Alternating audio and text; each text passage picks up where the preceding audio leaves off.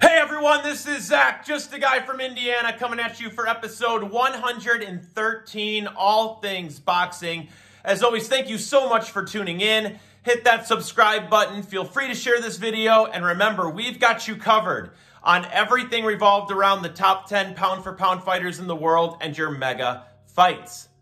So I think it is safe to assume that when Terence Crawford speaks, people listen.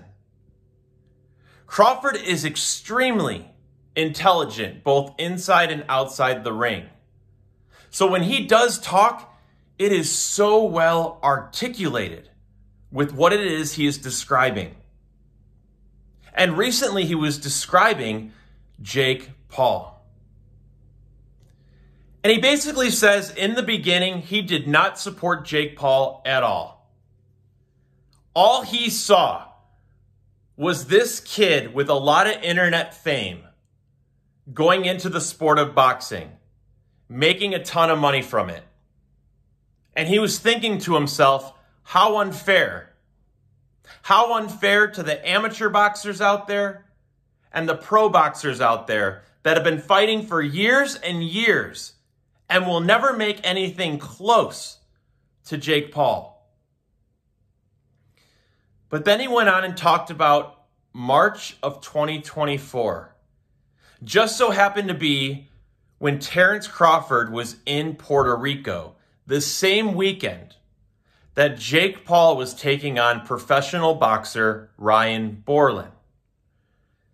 And Jake knocks out Ryan Bourland in the first round of that fight.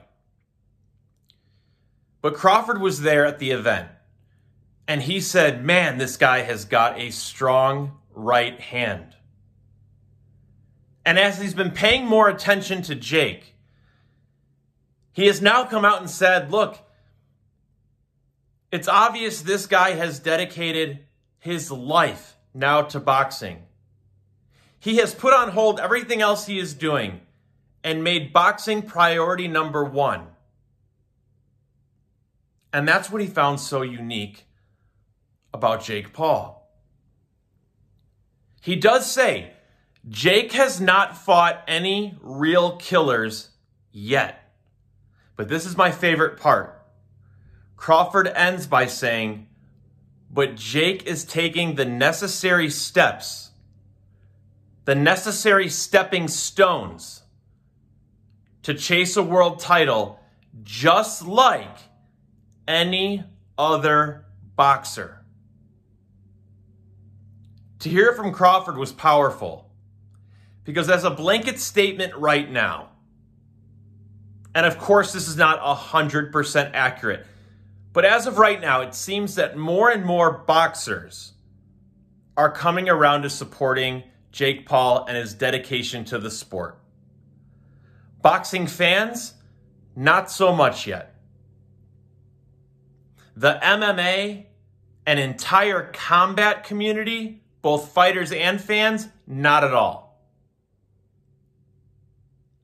But when Terence Crawford speaks, I'm going to listen.